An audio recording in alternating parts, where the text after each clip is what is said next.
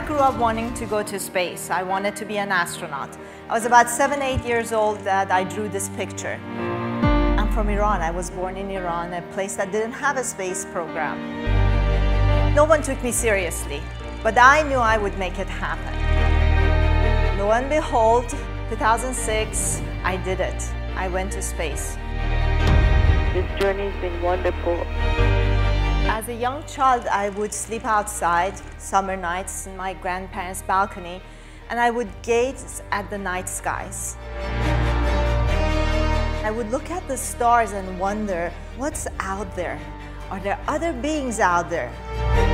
It was sort of a place I could let my imagination go wild and look up there and imagine new worlds. Imagination is a very, very unique gift we have as human beings. And as we grow up, we forget about it.